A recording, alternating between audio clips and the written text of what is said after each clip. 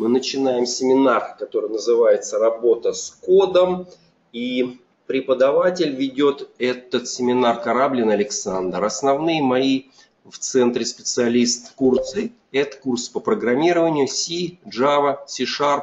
Вот, собственно говоря, на работе с кодом, который написан на этих языках, мы, наверное, и остановимся. Хотя, с другой стороны, ведь э, работа с кодом наверное, здесь предполагается, что у вас есть какой-то файл, но у вас нет исходников. Да? Скорее всего, откуда исходнику взяться, если вы нашли библиотеку, скачали откуда-нибудь библиотеку и дальше пытаетесь для себя, может быть, просто для себя понять и разобраться, а как она, эта программа устроена и как она работает. С каким языком вы столкнетесь? Вот вопрос. Ведь их же не один и не два. Поэтому здесь я для начала решил открыть вот некий такой э, стандартный достаточно рейтинг по языкам программирования. Он, слава богу, не меняется многие годы. Если посмотреть а, здесь статистику по годам, по месяцам, то у нас на вершине рейтинга, в общем-то, стандартно всегда находится пара языков. Даже если кто не видел этого рейтинга, вот здесь прям по годам. Вот наверху Java и C, C и Java. Поэтому у нас первый язык, с которым мы давайте посмотрим, что можно сделать, как можно разобраться с кодом, который кто-то написал, это будет Java. Как мы предположим, все это будет выглядеть? Конечно, я бы мог заранее подготовить какие-то куски кода, но так как там каждый кусок кода, собственно говоря, всего-то из себя представляет для примера несколько строчек, то давайте мы тогда не пожалеем труда и напишем, напишем э, пару строчек кода на Java. Стандартная среда, NetBeans, создаем какой-нибудь проект, там какая-то библиотека, нажмем «Готово». В этом проекте, пока пустом, э, мы, допустим, захотим сформировать один-два класса. Э, естественно, нам надо дать название нашему классу, чем мы сейчас быстренько и займемся. Вот наш класс. Ну, пусть называется математика, наверное, самое простое, что можно сделать, это каких-то пару-тройку математических функций. Итак, покрупнее здесь можно сделать, чтобы это все было видно. Смотрите, что у нас будет написано в этом классе. Ну, допустим, сложение, вычитание, ну, калькулятор, да. Мне нужны покороче, чтобы набирать побыстрее, я возьму тип данных попроще, целочисленный. Э, складывать будем пару чисел. Этот код предполагается, что секретный, да, ноу-хау кто-то разработал, и мы не знаем, как он устроен, и, собственно говоря, возникает задача исследовать этот код, разобраться и понять, как он устроен, как он работает. Э, если мы сможем добраться до исходников кода, то я думаю, вы понимаете, что мы сможем и изменить его. Естественно, завершается разработка тем, что мы э, сохраняем, компилируем. Ну, в данном случае здесь у нас есть меню собрать, очистить, там, проект, неважно. Что мы получаем на выходе? Вот это именно то, с чем вы столкнетесь. Давайте сейчас к этому файлу как раз мы и перейдем. То, что мы сможем с вами скачать в сети, это будет файлик вот с расширением jar, архив как раз. Но расширение в разных операционных системах может быть разное. Но вот под Windows это у нас архив jar. И если у вас, вот, собственно говоря, есть только сам файл, то, конечно, возникает желание, да, э, может быть, поглубже разобраться, кроме доступных, тех, которые вы знаете по документации, если она прилагается к этой библиотеке. Может быть, вы еще хотите узнать какие-то э, дополнительные возможности. Значит, э, что мы можем сделать, попробовать? Ну, можем попробовать его открыть архиватор. Обратите внимание, что в принципе этот jar файл действительно обычный архив зиповский. Я даже не стал добавлять, добавлять расширение .zip. Мы открываем папочку lib и видим в этой папочке лежит файлик. Вот это и есть с расширением .class, это и есть так называемый байт-код, который при компиляции исходников джавских мы получаем. Причем вот эта папочка, в которой лежит байткод, с точки зрения архитектуры Java тоже очень важно, потому что здесь предполагается, что классы лежат в каталогах, и когда вы будете использовать имя этого класса, вы обязаны указывать полное имя.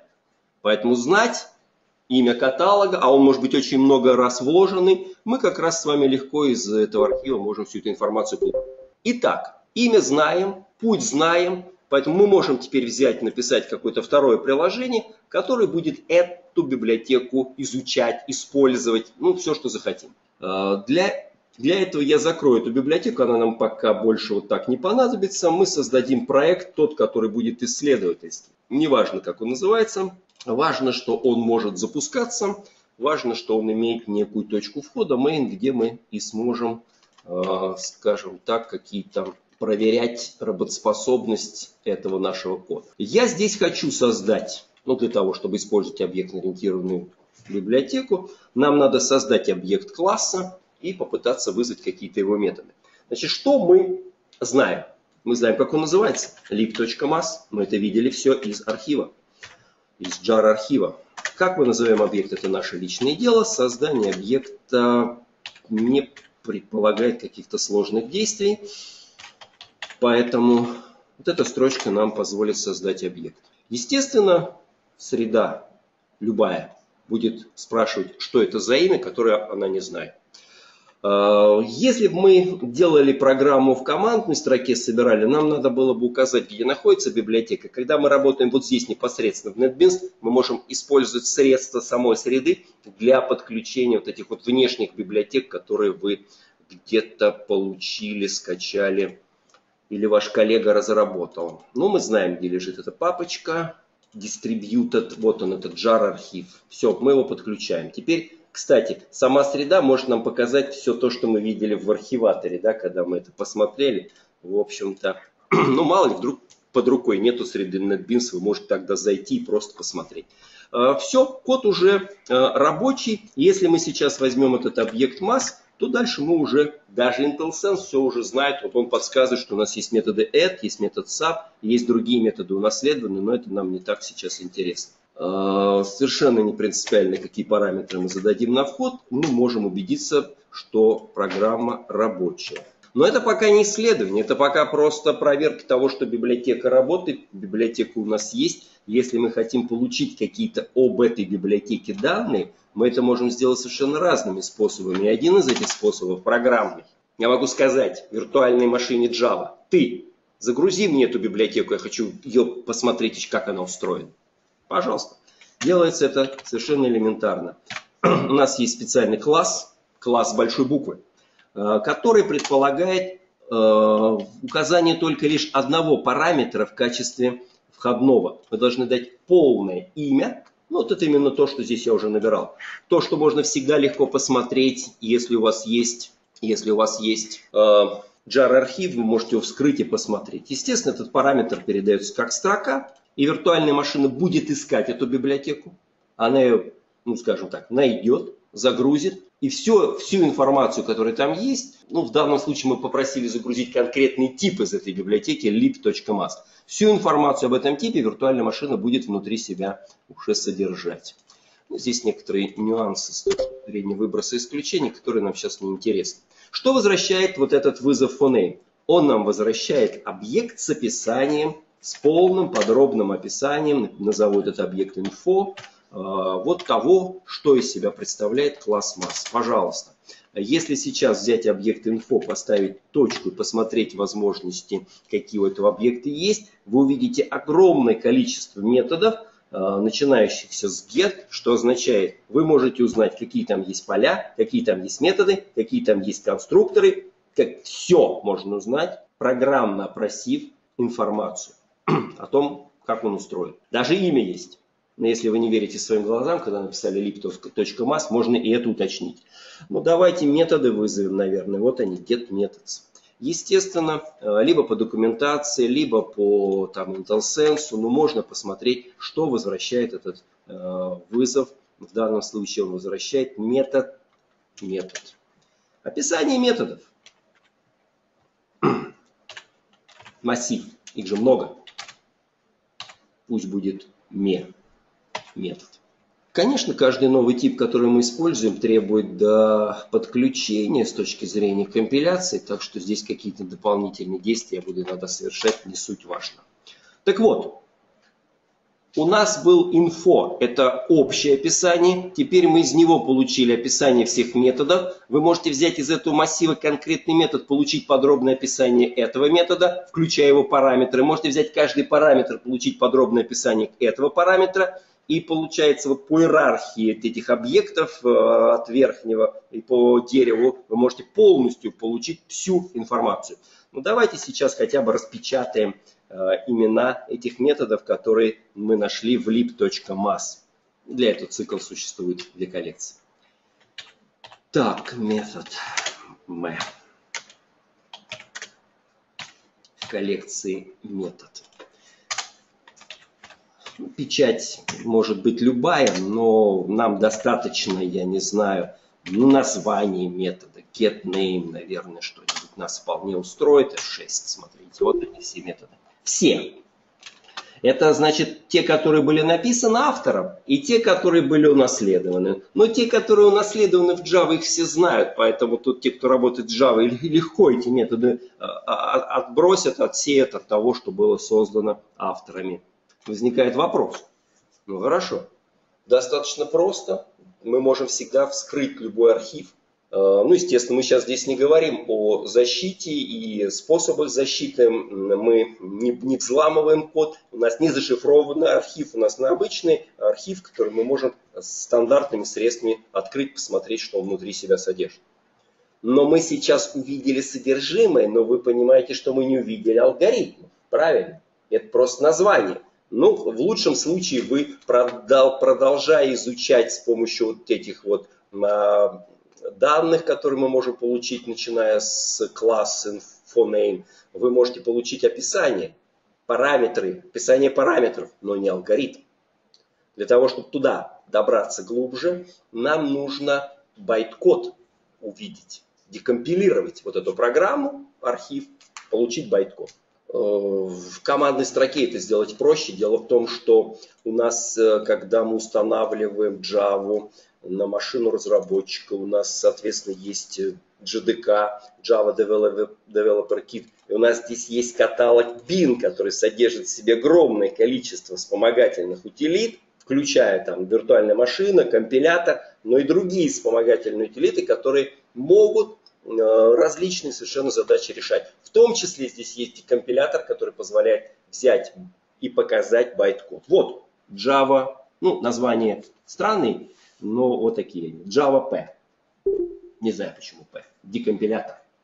P нету. Итак, давайте попробуем этой утилитой воспользоваться. Для того, чтобы мы могли это сделать, нам нужна командная строка CMD. Запустим ее. Эту командную строку мы можем с вами загрузить. Нам надо перейти в тот каталог, в котором у нас лежит э, наш jar архив. Соответственно, Давайте до него доберемся. Вот он. А зачем нам архив? У нас э, мы можем, нам проще можно поступить. Мы можем вы, вынуть э, вот этот вот mass.class. Это и есть наш байт-код. Там же может быть в архиве много разных э, вот этих вот элементов, которые мы захотим изучить. Мы можем их из архива вынуть, положить в каталог. Только разумно их будет вынуть именно с иерархии каталогов. Поэтому я должен перейти в то место жесткого диска, где лежит каталог, в котором лежит откомпилированный Java код. Вот этот. Отлично. Мы можем теперь воспользоваться э, скопированным путем. И вот здесь сейчас мы будем набирать. Такое ощущение, что не, курсор не вмещается. Да? Ну, вот так, наверное, видно. И здесь мы теперь будем в этом каталоге набирать Java P Java P. Если просто дать ну, через пробел полное, всегда полное имя, дать полное имя, причем с учетом регистра пишите, э, вот этого файла, то э, сейчас за нас, по сути, вот то, что мы программно пытались сделать, за нас теперь это выполнила вот эта утилита Java P, она показала нам, видите, да, что в этом классе находятся вот такие методы и, и даже вы видите э, с, с типами параметров. Но это пока не байт-код. Байткод можно получить, используя дополнительные ключи у этой утилиты. Если взять javap, э, ключик C приводит к декомпиляции lib.Math. Это все полное имя должно быть. Вот она была сделана декомпиляция, и мы теперь видим э, байт-код, который там находится в этом файле. Вот, пожалуйста, видите, да? Э, дальше все очень просто. Если вы собираетесь, ну ведь может быть э, разный уровень внесения изменений. Может быть вас вполне устраивает и такой уровень. Значит, следующим шагом вы изучаете э, байт-код, коды, инструкции, которые здесь есть. И может быть вы тогда сможете прям по вот этому файлу читать, разбираться и вносить даже, может быть, какие-то изменения. Но в целом, конечно, такой низкоуровневый получается вариант. Э, кстати, несложно воспользоваться этой утилитой. Вот то же самое сейчас я запишу, то, э, запущу ту же самую версию э, команды. Только еще поставлю, ну, например, какой-нибудь файлик какой-нибудь сброшу. Ну, там, я не знаю, с расширением. Вот почему-то такое расширение делают. Декомпилированный файл. Вот, пожалуйста, он был сгенерирован. Его можно открыть, посмотреть можно открыть, посмотреть. Вот все, что мы видели на экране, теперь был сброшен в файл. Ну, так, конечно же, будет проще изучать, может быть, что-то здесь и менять. А с другой стороны, с другой стороны, мы добрались до кода, и, в принципе, можно было бы разобраться, как здесь вносить изменения и потом обратно собрать эту программу, но, наверное, мы так с вами поступать не будем. Дело в том, что для Java существует э, очень много утилит, которые не только декомпилируют вот то, что мы сейчас видели, но они еще и восстанавливают э, исходник джавовский. Э, утилит много, сейчас я открою сайт, покажу, они онлайн все доступны. И э, вы, вы легко можете, соответственно, взять этот файл, .класс, который, превратить его в код на Java. Э, на сайте, естественно, народ обсуждает, какая из этих утилит лучше. Разумно пользоваться несколькими одновременно, потому что они могут сгенерировать немножко разный код. Ну, понимаете, обратное преобразование, оно неоднозначно. А, кстати, почему оно вообще возможно, это обратное преобразование? А все дело в том, что когда мы компилируем вот эту программу любую на Java, у нас в байт-код попадает не только информация о том, как, что делают ваши методы, но и попадает вся описательная информация, так называемые метаданные. Вот все, что у вас есть, класс, от кого наследуем, какие параметры, имена, типы, все попадает в байткод. Поэтому обратная декомпиляция, она возможна и не сложна. Наверное, не сложна. А осталось это самое сайт. Давайте сайт. Значит, сайт, сайт так можно зайти на него. Да, это не тот язык. Э, Java Decompilers.com. Java, о, вот он. Вот смотрите. Шесть штук предлагают вам как вариант сразу на скидку выбрать. Э, есть наши форумы, есть здесь небольшое описание каждому из этих вариантов. Э, расположены, почему они в таком варианте, в таком порядке, не знаю. Ну вот, в принципе, сверху расположен тот, которым рекомендуют пользоваться. И обратите внимание, он обновленный. Вот эта версия этого декомпилятора, она обновленная.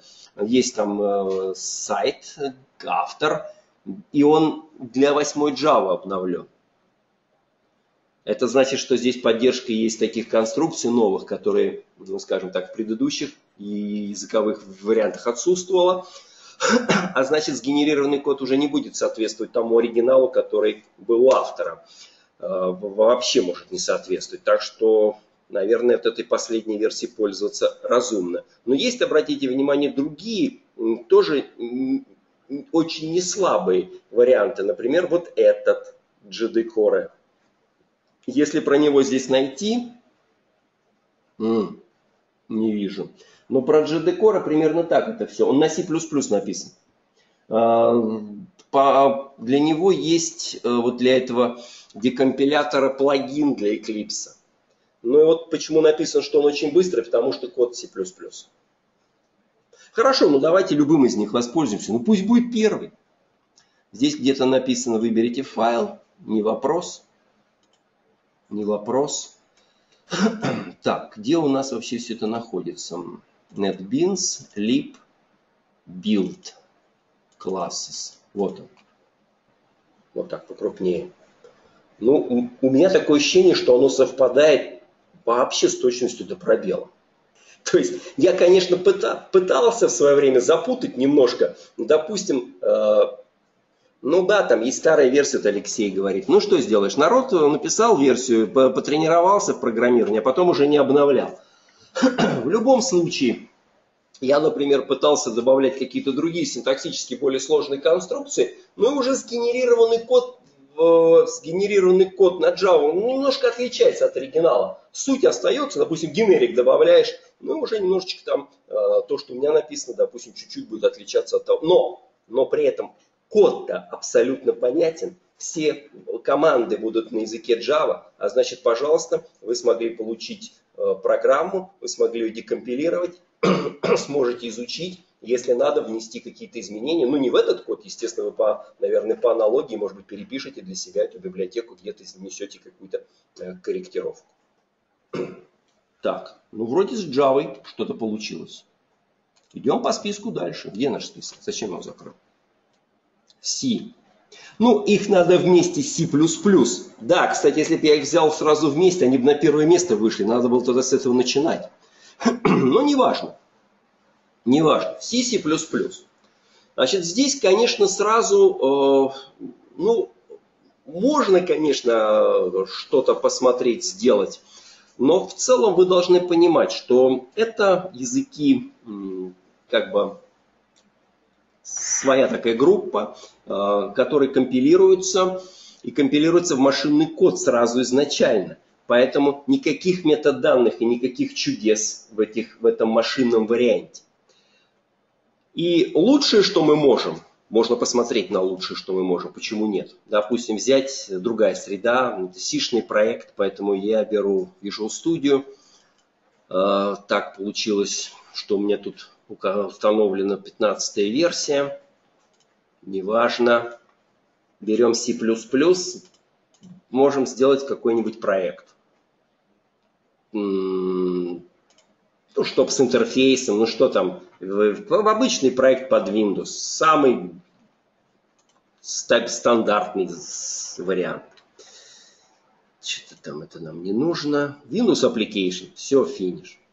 Если эту программу создать, добавить в нее код, какие-то написать обработчики на события, то там, не знаю, свою какую-то математику в нее реализовать, потом эту программу вы где-то скачаете и будете ее запускать у себя на, программе, на машине, и у вас будет экзешник или там библиотека, э, конечно, здесь проблемы с э, кодом вот по сравнению с Java будут совсем э, непростыми.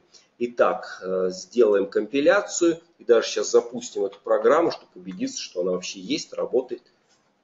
Компилировал, rebuild, да. Э, так, как ее запустить? А зачем мне запускать? Не, ну можно отсюда запустить, пожалуйста. Вот она стартовала. Программа по умолчанию, то, что сгенерируется. Кстати, так, какие-то кнопочки есть, даже какие-то диалоги. Но это стандартная заготовка под Windows программы, где дальше разрабатывается уже пользовательский интерфейс. Могли мы туда поместить любую математику? Конечно. Конечно. Как что-то здесь можно увидеть. Единственное, что я могу предложить, это вот такой вариант. Это я закрыл, Visual Studio пока свернули. Мне нужна сама программа на рабочем столе, не обязательно на рабочем столе, я просто хочу запустить. В документах Visual Studio у нас должен быть проект. Вот то, что мы сейчас сделали. В папочке debug лежит программа. О, вот она. Ну, она стартовала. Следующим шагом мы можем теперь взять Visual Studio. И Visual Studio может выступать в роли некого внешнего отладчика. Естественно, для того, чтобы работать вот с таким машинным кодом, существует масса специализированного софта, но это уже софт, который используется для взлома, для того, чтобы снять какую-то защиту с программы. Наша здесь ситуация другая. Мы хотим посмотреть, как она работает. Нас волнует, волнует алгоритмы. И мы можем, используя Visual Studio, сделать то, что называется подсоединиться к существующему процессу. Если мы знаем программу, которую мы запустили, а мы знаем, вот она, экзешник, мы можем подключиться. И теперь с Visual Studio позволит нам, позволит нам наблюдать за тем, что происходит. Так, значит, у нас сейчас программа где-то работает, а это у нас Visual Studio, где мы можем смотреть результат. Вот э, здесь есть такая кнопочка Break All. Нажав ее, я тем самым, вот видите, эта стрелочка означает, что сейчас было приостановлено извне выполнение этой программы, и я попадаю на те команды, а, а когда мы нажимаем эту кнопочку Break All, мы в принципе, естественно, можем добраться в программе до нужного места, да, открыть диалог, открыть там какую-то форму, где-то там какое-то вычисление, мы знаем, что начинается, кликнув на соответствующую кнопочку, можем там нажать, начинается вычисление, и тут вы нажимаете break all. И есть, ну, в общем, э, вероятность, что если эти вычисления продолжительные, вы как раз остановились на этих вычислениях. Вы скажете, ну вот же код, он тут есть. Но это потому, что у меня отладочная версия была сделана раз – и потому что, скорее всего, я открывал из Visual Studio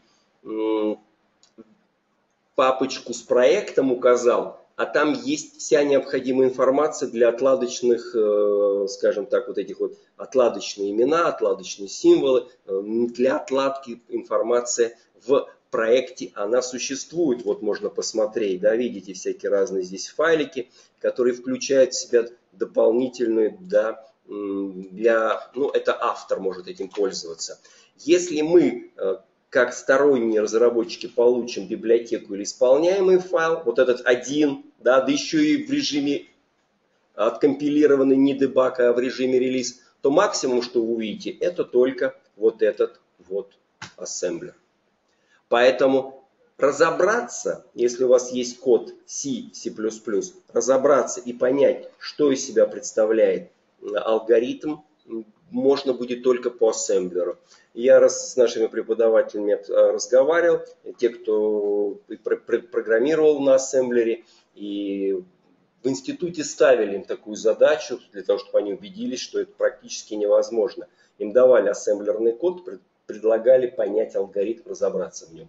Если даже не знаешь, ну хотя бы идеи, да, что это за алгоритм, как, какая категория алгоритмов и так далее, в принципе очень сложно. Практически невозможно. Практически невозможно.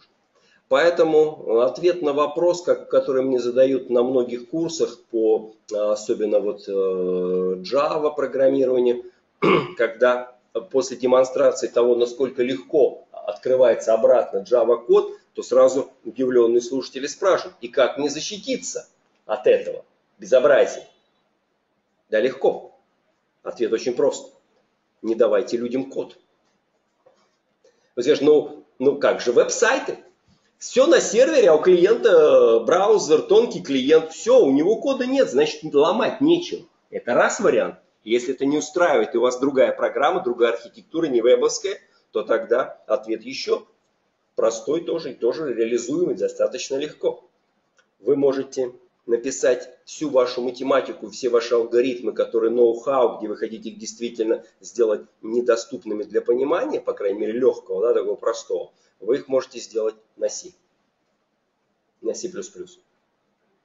А дальше у нас в Java есть технология Java Native Interface. Вы из Java как, э, как родной можете вызывать C, C++ код. Поэтому написать свои какие-то алгоритмы и потом их вызывать из своей Java, это не сложно, совсем не сложно. Но это уже будет достаточное сокрытие своих алгоритмов. Вполне достаточно.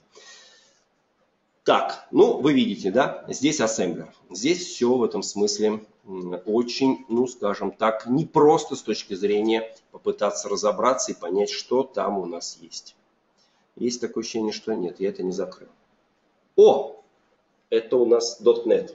Кстати, обратите внимание, что .NET это ведь не один язык, да, C-Sharp. Это целое семейство языков, которые работают на данной платформе. Сколько их там? Ну, э, в принципе, в книжках пишут до 40. На платформе .NET до 40 языков. Это несложно. Для того, чтобы язык сделать рабочим на этой платформе, нужно написать компилятор, который компилирует код с этого языка в промежуточный язык, intermediate language называется. И уже дальше когда мы клиенту отнесем код, написанный после компиляции на этом Intermediate Language, он будет запускаться э, в виртуальной машине CLR .NET.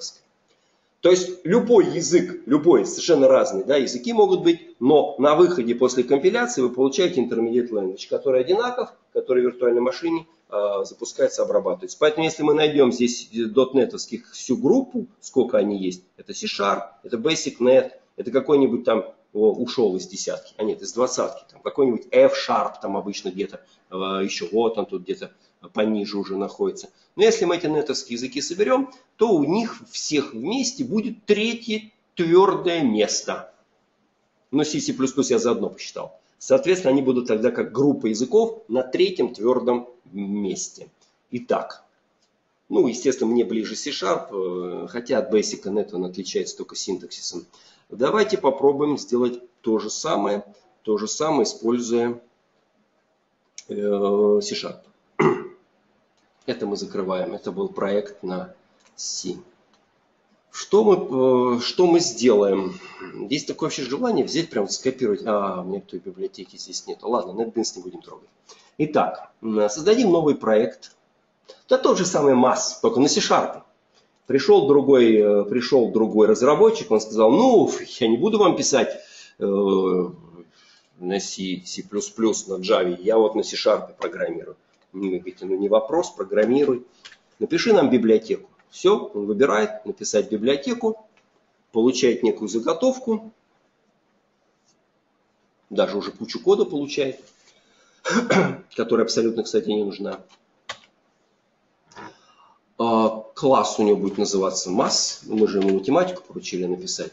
И в этом классе он сделает, надо было мне копипаст э, подготовить, а оно, оно одинаково пишется абсолютно. Так, э, тоже с интами, просто потому что быстрее набирать. Все то же самое. У меня будет на входе пару параметров, которые будут потом какой-то очень сложной математики как-то вычисляться и обрабатываться. То самое ноу-хау, которое хотят у нас подсмотреть. Похоже. Итак, библиотеку мы сделали. Естественно, этот метод будет вычитать. Да ради бога. Все сделано. Эм, откомпилируем, забудем. Вот здесь внизу пишется, типа успешный. Можно закрыть, нам этот проект больше не нужен. Мы можем взять какой-то другой, точно так же, как на Java. Этот закрыли, еще один проект создаем. Но это уже будет, что я нажал, Open. У нас нету проекта, мы должны создать. Э, возьмем какой-нибудь проект, да, самый простой, без интерфейса, консольное приложение. Много лишнего кода, можно его совершенно спокойно удалять. Итак, что мы хотим? Все то же самое. Мы хотим создать объект и вызвать его. Не вопрос. Мы же знаем, как он называется. А, кстати, откуда мы знаем, как он называется? А, мы не знаем, как он называется. Давайте разбираться. Это это я, откуда я знаю, что никто ничего не сказал. А что у нас есть? Посмотрим на жесткий диск после первого проекта. У нас есть проект Visual Studio, который называется, ну, имя проекта. Э, и нам, я думаю, понимаете, досталось в результате компиляции, вот этот файлик нам достался. Вот библиотека под Windows имеет расширение DLL. Что с ним можно сделать, с этим файлом? Но в принципе, в принципе, помните, как с JAR архивом, да, мы взяли его, открыли, посмотрели, сказали, вот, пожалуйста, архив, мы все видим. Здесь так не получится, это DLL, это совсем другой формат файлов, и э, нет, нет, не, не, не, не архив. Но в состав Visual Studio входит специальная утилита, э, которая позволяет достаточно легко, просто, у него даже есть красивый интерфейс графический. Посмотрите устройство любой библиотеки или исполняемого файла на .NET написанного, на Intermediate Language, значит. Поэтому э, представьте себе ситуацию, у вас есть какая-то библиотека, и вы не знаете, что с ней делать. Но попробуйте вначале бросить в эту утилиту. Вдруг она покажет вам, как оно устроено. Вы скажете, а, .NET. Итак, нам надо вызвать эту утилиту. Значит, для того, чтобы мы могли вызвать утилиту, мне придется зайти, здесь не видна кнопка пуск, я захожу по кнопке пуск, нахожу Visual Studio, Visual Studio, и там есть, а, зачем я запустил, у нас уже она запущена. Еще раз, захожу, нахожу все программы Visual Studio, Microsoft Visual Studio 15, есть раздел Visual Studio Tools, и там так называемый Developer Command Prompt и так далее. А, она отличается немножко от KMDXZ тем, что она, ну скажем так, знает, где находится инструментарий разработчика на .NET. Вот и все. А также это та же самая KMD, вы можете написать какую-нибудь стандартную команду и порадоваться, что она работает. ILDASM, вот как она называется, эта утилита. Э, как это расшифровывается? Intermediate Language Disassembler. Пожалуйста. Нажав, запустив ее из командной строки, вы получаете вполне приличный вариант польского интерфейса. Если вы знаете, ну, башгернуть можете на рабочий стол положить да, этой программы. Она просто вместе с Visual Studio, отдельно можно скачать. У нее есть нормальный файл, open, можно просто ткнуть пальцем, сказать, вот эту загрузи DLL, и вы получите информацию о том, как она устроена, эта DLL. Но в нашем случае мы хотим что посмотреть? Мы хотим вот эту DLL Э, найти, где она у нас. Вот она лежит здесь. И вот сюда можно драг-н-дропом отправить. Пожалуйста, смотрите. Вот видите, вот она мне пишет lib. Э, здесь есть help, about. Я не угадал. Help, help. Хорошо назвали, да? Help, help. А вот этот help, help вам позволит посмотреть, э, ну, например, здесь есть описание вот этих вот иконок. Да, что она означает, иконка? Вот это обозначает пространство имен, вот так обозначается, ну, в общем, все понятно из этого описания и так само по себе. Есть методы, есть свойства, и все, в общем, здесь очень достаточно аккуратно расписано в этом встроенном неком таком мануале. И вот это у нас получается пространство имен, как в C++ namespace. Вот у нас есть полное имя класса, и даже мы можем посмотреть, что из себя да, он представляет, какие в нем определены методы. Но по сути это делало нам Java P, когда мы запускали на Java. Здесь это делает ILDAS, только он не утилита командной строки, а имеет польский интерфейс. Видите, я все вижу. Я главное вижу, что полное имя у нас вот это вот lib.mas. Мне это устроит, мне нужно было полное имя. Я его не знал. Чужая библиотека. Я говорю, все я знаю теперь. Все знаю теперь. Масс. Ну, все понятно, объект будем создавать. Здесь ничего не меняется. Все языки современные объектно-ориентированные, как братья-близнецы, похожи, за исключением 1С.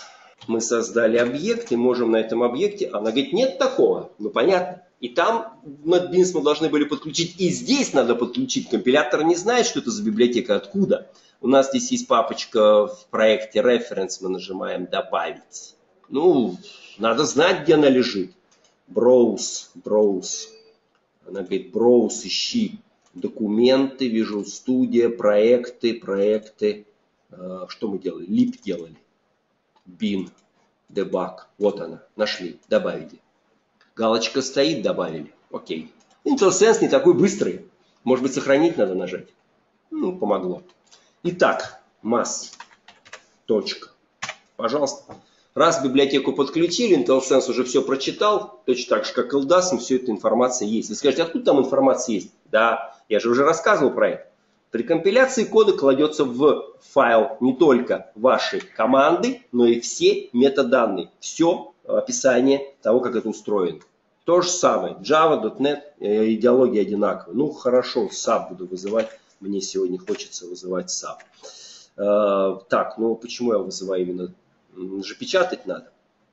Здесь немножко другой функционал для печати. Э, у нас есть такой класс, по-моему, консоль, у которой есть метод, отвечающий за вывод на экран. Ну, ради бога, выведем то, что нам вернет масс. .sap.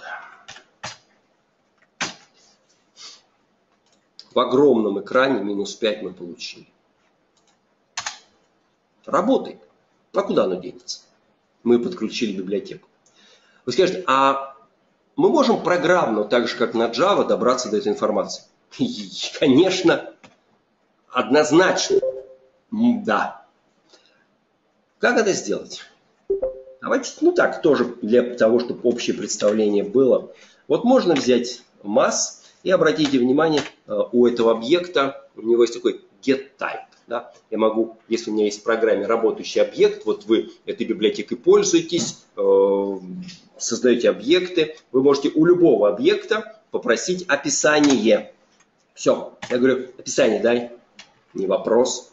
Описание вам вернут в виде специального объекта, который вот так называется, тип, ну пусть инфо. Все. Вот здесь все полное, полное подробное описание.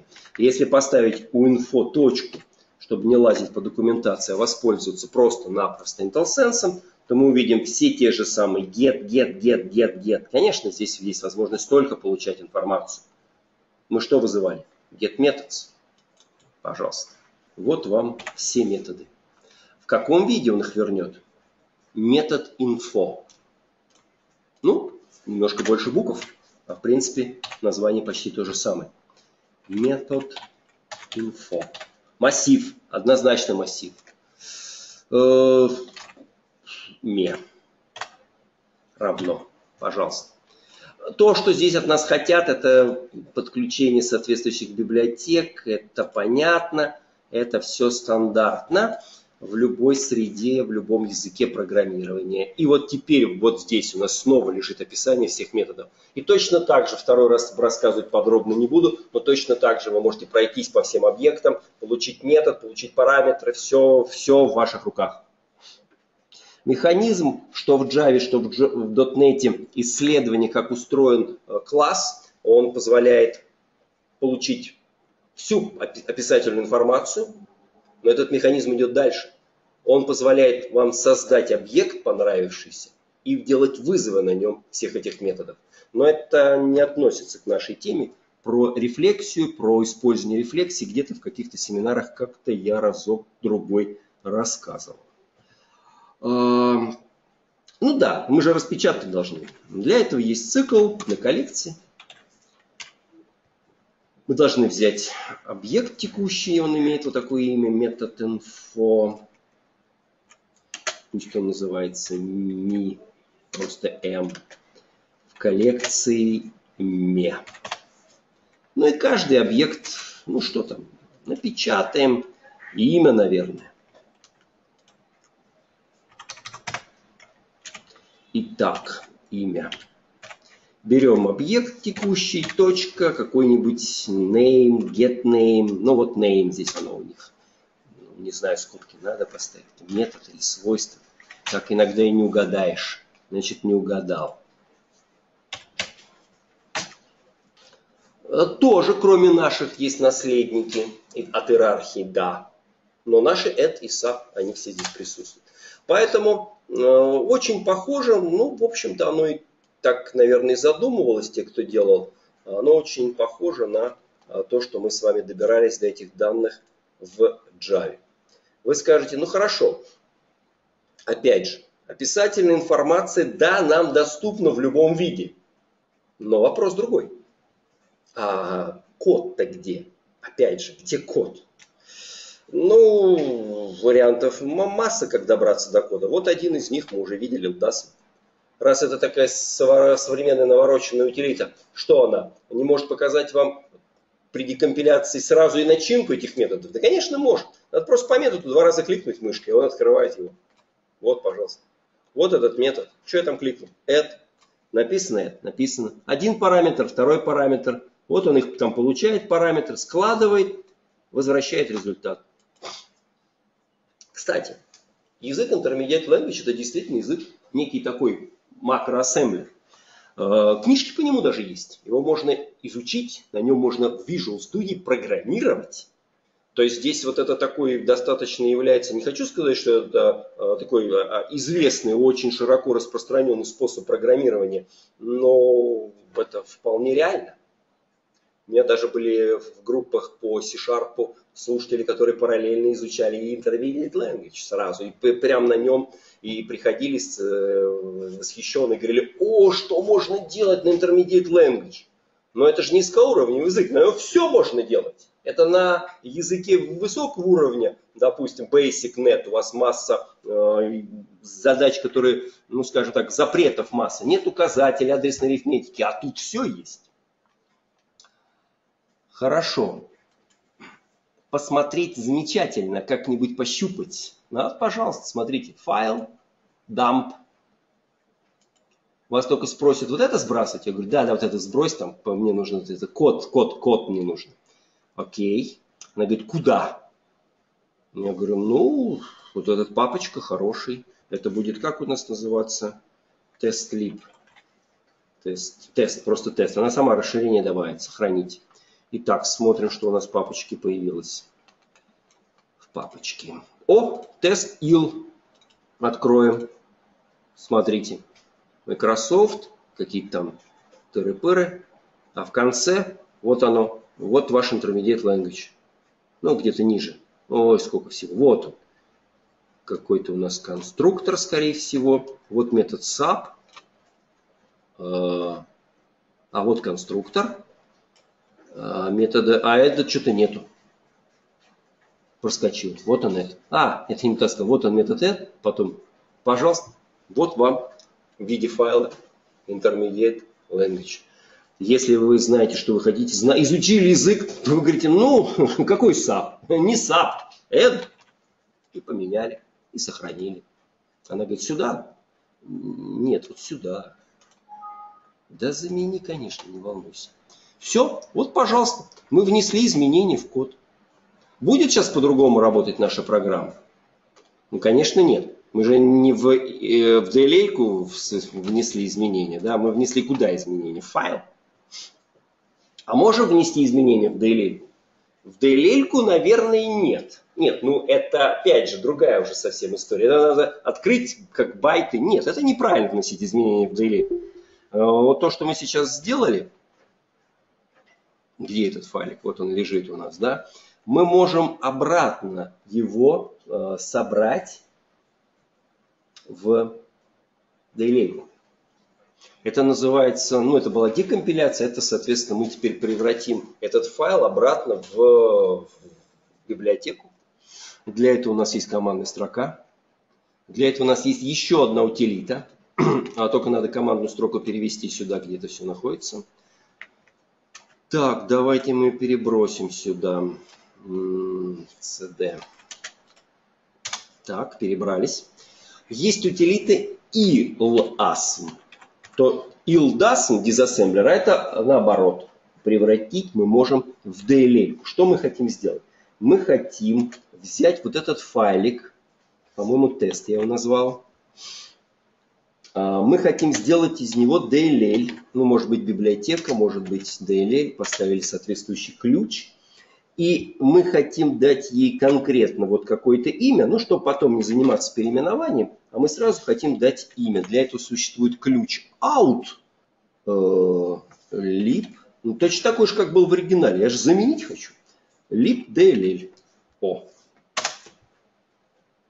Она говорит, success.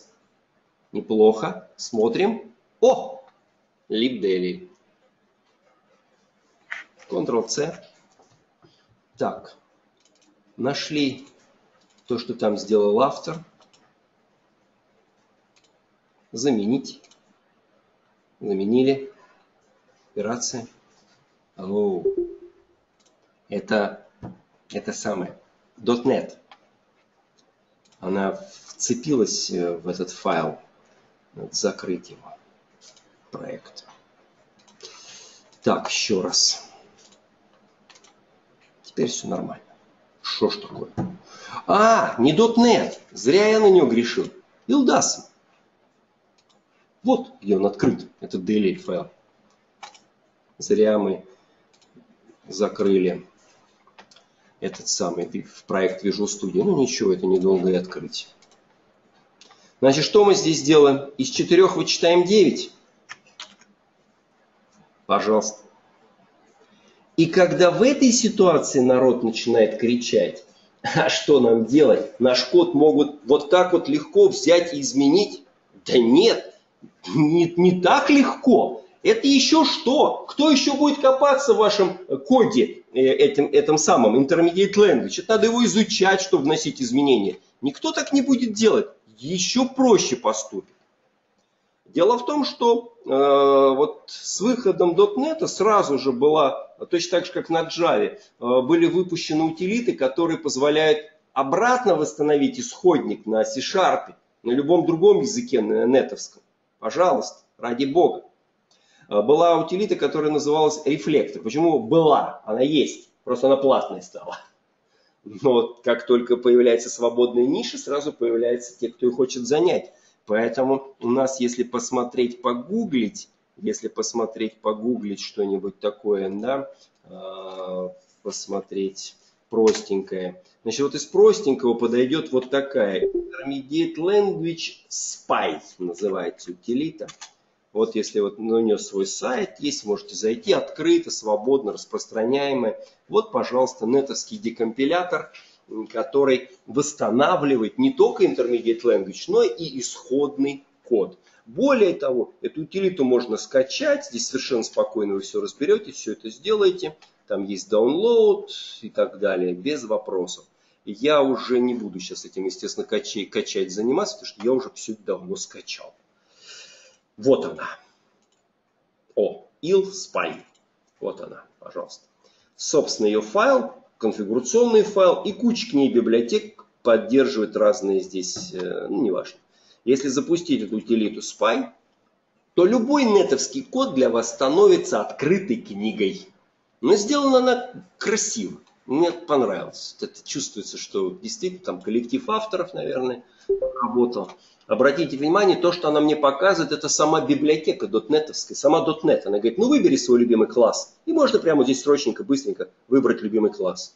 Но можно выбрать, а что выбирать? Может и drop можно сюда сбросить. Давайте попробуем. Где наша эта э, DLL, э, которую мы меняли? Вот она. О, раз, сбросил. Смотрим. Где там она в конце списка появилась. Вот она лип. Можно раскрыть плюсик, можно открыть лип, можно посмотреть, что там внутри лежит. Это вот про пространство имен класс масс. Я по нему кликнул, и вот тут сразу C-шарповский код. Пожалуйста. Все то же самое, все элементарно, все восстанавливается, все копируется. Все, все чудеса. Кстати, мне вот это очень нравится. А можно покрупнее сделать? Э, ну ладно. Вот это. А это оно же, но на бейсике. А вот это хорошо, да? Оно же, но на intermediate language. То есть у вас прям пособие по изучению intermediate language. Написал код, intermediate language, тут же C-sharp, еще что-то сделал. И прям посмотрел, разобрался. Все, в общем-то, выглядит достаточно замечательно. Пожалуйста, переключение языка. Э, ведь он же intermediate language. Откуда она знает, на каком языке был написан оригинал? Кстати, у рефлектора было больше языков. Но, может быть, здесь тоже существуют другие версии, которые позволяют вот так же вскрыть исходный код. Итак, к чему мы пришли? Что вскрыть исходный код для языков, у которых присутствует все описание в виде метаданных, это элементарно. Как защититься, я сказал. Но в некоторых ситуациях мне не очень меня напрягает, что э, кто-то откроет мой код.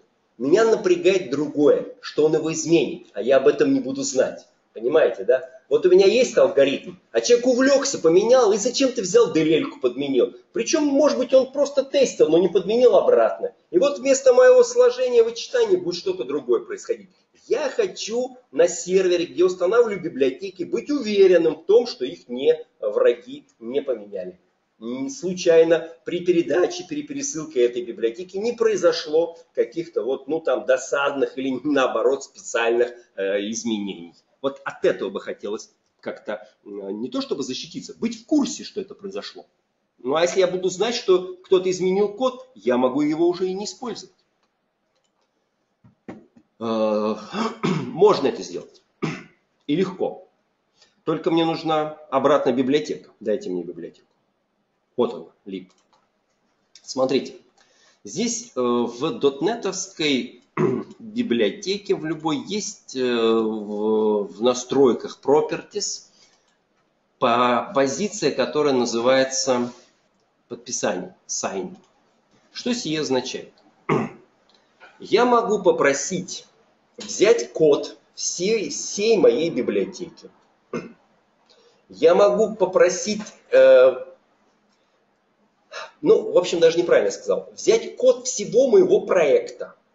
И даже если я в проект включу текстовый файл картинки, они тоже будут включены э, в, во что? Будет по, посчитан хэш-код. Подписание, signing, означает следующее. У вас вычисляется по всему проекту хэш-код. Хэш-код шифруется и сохраняется в метаданных. Давайте посмотрим. Значит, я выбрал вкладку подписание, поставил галочку. Э, меня спрашивают здесь, это что такое, так быстро, я уже даже не успел ничего сделать. Э, я поставил галочку, и если, наверное, вниз куда-то прокрутить, вниз куда-то прокрутить, сохранить. А вот она, вот эта вот здесь вкладка, она открывается, просто кликанием по ней.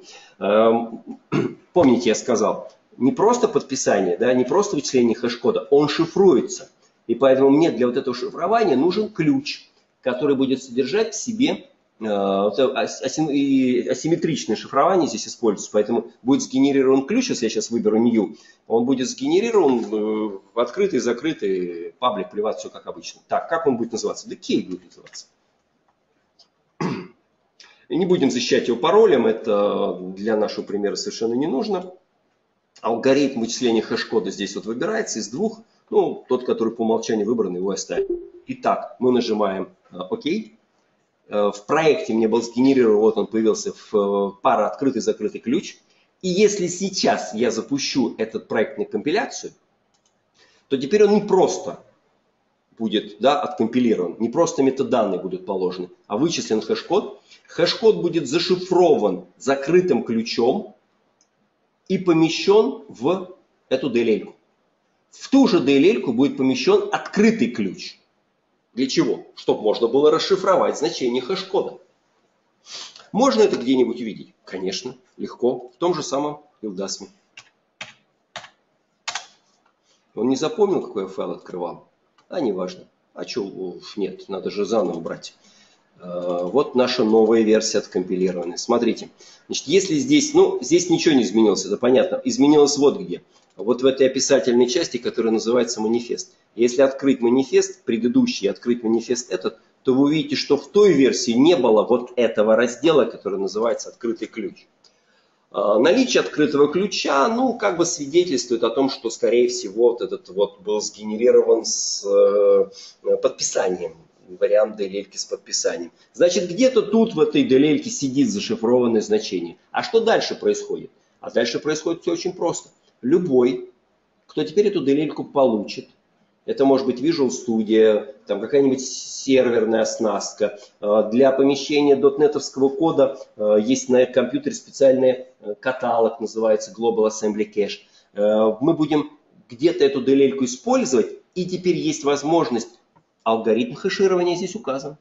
Теперь есть возможность снова вычислить значение этого хэш-кода и сравнить его с зашифрованным. А так как у нас присутствует открытый ключ, мы можем расшифровать то значение, сравнить с, том, с тем, что мы получили. И если они окажутся не равны, значит кто-то внес изменения. Значит кто-то внес изменения. Вот так все просто делается. Итак, давайте сейчас мы это попробуем. А, значит, у меня в Visual Studio есть новая версия с подписанная, называется Strong Name, с сильным именем. А, я теперь возьму тот второй проект, который ее использует, ну и мы убедимся, что он еще работает. Так как я снова перекомпилировал, должно быть снова минус 5. Ну, и теперь мы опять же попробуем внести вот то же самое изменение, но уже вот в эту библиотеку, подписанную сильным именем я воспользуюсь, по сути, всеми теми же действиями, всеми теми же, да, которые мы уже проходили. Я снова сделаю дамп. Я снова ему дам имя тест. Сохранить. Я этот дамп попробую, опять же, изменить. Вот он.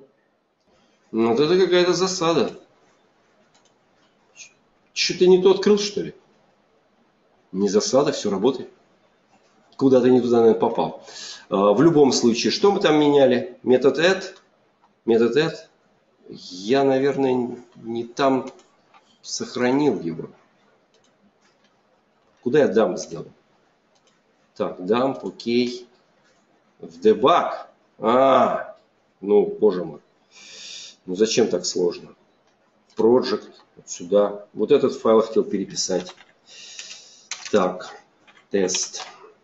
Пожалуйста, вот сюда мне сохрани, замени. Другое дело.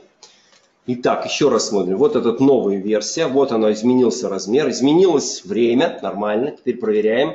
Нажимаем «Открыть его». А, в принципе, в принципе, здесь мы хотели сделать то же самое изменение. Взять метод sub и в нем, как в методе add, заменить вот эти буквы на add. Заменили. Сохранили. Больше нам не нужен нотепад. А это мы собираем опять же с помощью командной строки. У нас же команда есть. Вот она. И ласом. Пересобрали. Ну, я, честно говоря, время проверим, 35 минут. Да, все корректно. Итак, библиотеку мы пересобрали, значит ее теперь давайте закроем вот эту программу, потому что она, мы уже знаем, держит, э, мешает нам э, DLL копировать. Ctrl-C и в библиотеку сбрасываем вот эту новую версию. Вот она. Заменяем. Замены. Все, поменяли. Ну и думаем, что все будет хорошо. Теперь смотрите, Visual Studio. Да, тот же проект, все то же самое, ничего не меняли, просто пытаемся запустить. Пожалуйста, читайте. Ой, где эта строка? Вот она, пожалуйста. Как-то поменьше, что ли, сделать. Could not load file or assembly. Почему? Strong name validation failed. Пожалуйста. Что указывает нам на то, что код был изменен? Вот, пожалуйста. Причем здесь написано lib, видите, да, прям кон конкретно сказано. Вот этот файл не удалось загрузить. Файл, с, вот он, lib, его имя дано. А, соответственно, значит, кто-то в эту программу пытался внести. Почему пытался? Внес изменения. Вот это уже защита. Единственное здесь э, в плане, ну скажем, такого вопроса, да, э, может быть следующее. А может, например, хакер, который меняет вот таким образом код, может он, например, сделать снова подписание с сильным именем. Но что ему э, стоит? Сгенерировать э, заново, взять, посчитать хэш-код. Алгоритм же известен? Известен. Посчитать хэш-код, с его зашифровать и положить, э, ну, наверное, в какой-то документации или какие-то утилиты у нас есть, которые позволят э, все обратно собрать, как у студии делать с сильным именем. Да, конечно, все эти утилиты есть. Утилита sm.exe позволяет генерировать пару открытый и закрытый ключ. Она позволяет проводить подписание любой нетовской сборки сильным именем. sm, strong name. Поэтому все это элементарно делается в командной строке. Единственное, что может остановить этого хакера, это вот следующая позиция. Вы ему должны, этому хакеру, как-то ограничить доступ вот к этому файлу. Если у хакера будет этот файл, он может действовать от вашего имени, потому что там и приватный, и открытый ключ. И этого достаточно, чтобы он мог подписать любую сборку. Это будет э, совершенно для любой среды неразличимо, что ваше подписание, что его подписание, все это будет одинаково, корректно смотреться э, извне. Поэтому ваша задача этот файл хранить где, угадайте где, не на компьютере у разработчика. У компьютера разработчика это открытая книга для всех, поэтому это должно лежать в сейфе. И поэтому, если вы захотите почитать, как это делается, э, причем действительно те конторы, кстати, Microsoft все свои библиотеки нетовские, они все у них с сильным именем. И я разговаривал с серьезными софтверными, э, скажем так, фирмами, представителями. Они пишут код нетовский, тоже обязательно подписывая его сильным именем. И когда я спросил, а где у вас хранится пара открытый и закрытый ключ, то все, в общем-то, у них было сделано по уму, сеечки. То есть это должно быть какое-то ограниченное, э, скажем так, от доступа и от сети помещения. Кстати, э, обратите внимание, что даже в самом проекте, если его взять, любой проект Visual Studio, который нетовский, если посмотреть на вкладку Sign подписание, то там не только присутствует вот это вот подписать, но там еще есть вот такая галочка Delay Sign Only. Это и есть как раз вот тот самый вариант, который позволяет сделать безопасным подписание. Что обозначает, вот если я поставлю сюда Delay? Это означает, что на машине разработчика нету пары открытый-закрытый ключ. Отложенное подписание, это работает так. Вы разработчику выдаете только открытый ключ. Открытый ключ мы распространяем по всему миру. Это так и должно быть. У него только открытый ключ, и он, соответственно, может, когда компилирует библиотеку, указать открытый ключ, произойдет вычисление хэш-кода, произойдет сохранение в эту сборку э, незашифрованного значения, и открытый ключ тоже будет сохранен в эту э, программу нетовскую. Все. На этом работа разработчика, тестировщика завершается. А дальше они дают эту программу ответственному сотруднику, который берет эту программу, заходит в сейф, и там в командной строке с помощью утилиты SNXZ подписывает эту библиотеку уже сильным именем, потому что у него есть пара открытый закрытый ключ. Вот тогда мы с одной стороны делаем некую защиту, мы будем в курсе, если наш код поменяли, а с другой стороны мы гарантируем, э, так скажем, невозможность украсть у нас эту пару открытый закрытый ключ.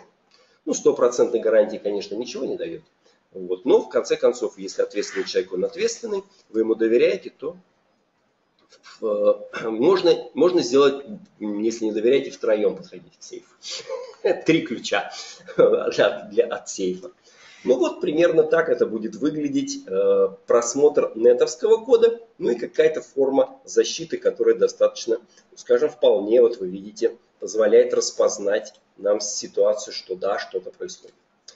А, еще есть какие-нибудь языки программирования? Ну, давайте еще посмотрим. Дальше уже, скажем так, мы не будем ничего смотреть. Почему? А по той простой причине, что дальше у нас идут языки Python, JavaScript. Это какие языки? Это языки скриптовые. А что значит скриптовый язык? Это значит, что он хранится в оригинале. И поэтому здесь проблем с получением исходников нету по определению. Поэтому три группы получается языков. Да? Скриптовые, открытые, э, языки, которые компилируются в промежуточный код, как Java.NET, вся платформа .NET, которые легко при наличии метаданных восстановить обратно в исходник, и машинные языки, типа C, C++, ну или если вы вообще пишете на ассемблере. Видите, пишут люди на ассемблере.